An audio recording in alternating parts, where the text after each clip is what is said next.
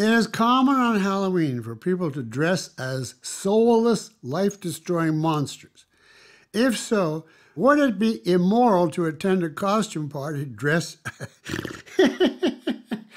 dressed as Immanuel Kant? I don't think it would be immoral, but it would certainly be boring. Immanuel Kant is the most boring person ever. You know his life. He walked around the block once a week. If his dress is anything like his life, Mr. Mowen in uh, in uh, Atlas Shrugged would be a colorful, flamboyant figure by contrast.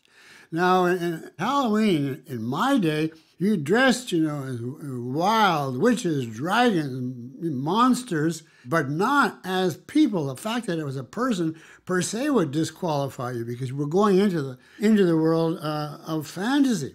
If you dressed as Kant, you would have to keep the reality meaning of his ideas out of your head. You'd have to just go as this is a bad guy, like a warlock.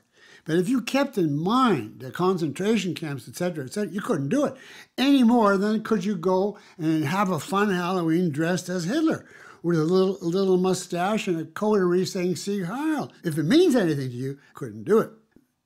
The only thing I could think maybe dress like Kant, have a large mock-up of the Critique of Pure Reason, and every 15 minutes burn uh, uh, one page, and then burn your clothes down to the last piece, and then bob for some new outfit, maybe Aristotle's clothes.